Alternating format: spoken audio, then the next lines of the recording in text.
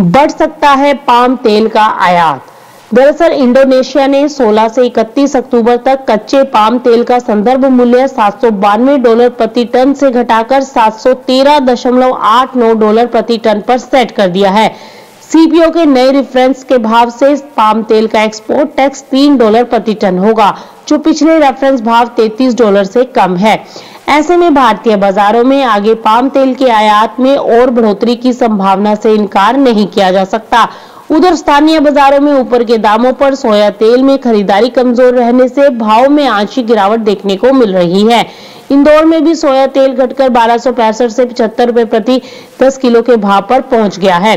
दूसरी ओर अमेरिका में फ़सलों की कटाई का दबाव देखने को मिल रहा है।